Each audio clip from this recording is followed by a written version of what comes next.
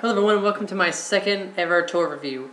I will be reviewing the Samurai Red Ranger, or Samurai Ranger Fire, from the the second set of Samurai figures. Now, I, I have the Mega Mode version but of them here, so I can't compare the two. Um, but they're the same size, and I'm going to go ahead and show them, show the individual weapons that came with them and things. And uh, I'll show the packaging and the price range and everything. Uh, anyway, we'll go to the packaging first. The packaging is very different from the first uh, set of figures, actually. Uh, here's the packaging. This is the basic packaging for the, the Red Ranger. You can see it's different. You can see that there's Saban's here at the top. Oh, there we go. Uh, Saban's here at the top. I'm still going to use my camera.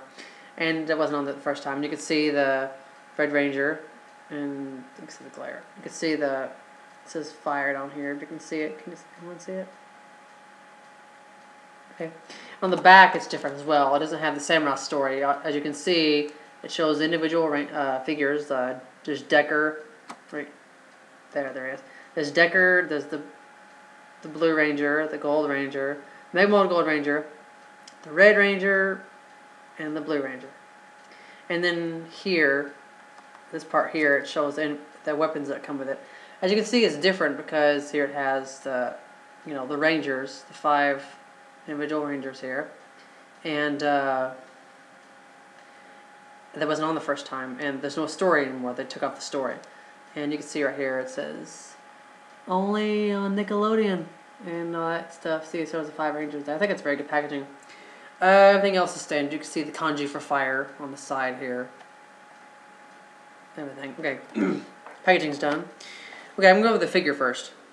This is what the, the figure looks like. Up and we can see it. This is the basic figure. Uh, the same articulation is the same. You have uh, arm articulation here. You have the, the boot at the glove rotates. I also have elbow articulation as well. Now there's no ball jointed neck on this uh, and everything. Uh, the head can turn full 36 degree angle, but there's no ball jointed neck. Uh, the legs can, you know, do the whole standard range articulation. Legs go up and down, bend the knee, and uh, that's pretty much it for articulation. Uh, oh yeah, and the, the boot covers can rotate as well. A full 36 degree angle. Okay. Uh, he's he's very well painted actually. You can see the back here is actually painted. You can see here full paint and the belt is fully painted uh, and everything and it's actually really well done. I think they really did a really good job. You can see the kanji and everything clearly. You can see everything. It's like really really clear and really good. Now go with the weapons that came with them. Uh, here come uh, the Samuraizer actually the small Samuraizer version came with them. And uh, you can see it here. And this is the Samuraizer that came with the um, figure. And uh, yeah, you, I guess this goes on any part of it. Uh, I'm not sure what part this actually goes on, but uh, I think it just put in his hand maybe. I don't know. Anyway, uh, and next is the samurai katana, which actually uh, it's very different from the uh, the mega blade. Uh, you can see it's the standard blade. You, you can see the disc here you can see the disc. Can anyone see it? Yeah, there, there's the, uh, here it is. It's basically that's silver paint here, and it's just gold and silver, uh, and everything. It's, it's, it's colored, sort of. Anyway, last but not least, we have the Fire Smasher in the five in the Beetle, uh, the Beetle Blaster mode, the five disc Beetle cannon, and uh, you can see the kanji for fire here. And uh, I kind of understand why they didn't bring the, the Fire Smasher back in because they already used it with Mega Mode Red. So uh, I understand that. But, uh, and everything. And I'm probably going to try it. Uh, the weapons, I'm going to we'll put the weapons on him. Uh, firstly, the weapons fit pretty well in his hands, actually. Uh, here is the Red Ranger with the sword. You can see it fits pretty well, actually. It fits pretty well in his hand. I think it's, it's nice. Um, see kind of side view and everything.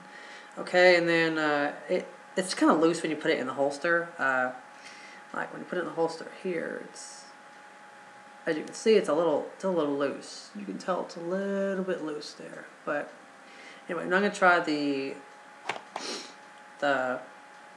I'm sorry, I kind of have a cold, but um, the five day speedo cannon, and uh, you have to put it very high on his. You had, to put at a certain condition, a certain position. I meant uh, where it, actually stands. It takes uh, some time, but here's what it looks like with you know, with the five disc Beetle cannon attached to him, and uh, yeah, I think it's pretty nice. Uh, it's like a giant bazooka. Of course, I know what it is, but anyway, I'm going to show what, what it looks like. I'm going to stand it up, um, and it's going to take some time because you have to put it in a certain position. It's put it like pretty high for it to stand actually on its own. And uh, I'm going to do that real quick. Um, try to stand it up on this package. I don't think it's going to work. One second.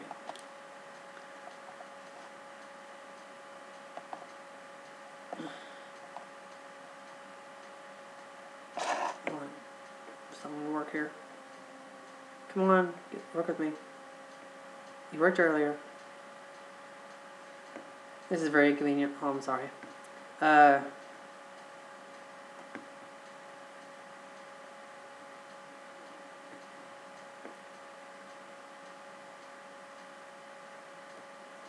this is taking a long time. One second.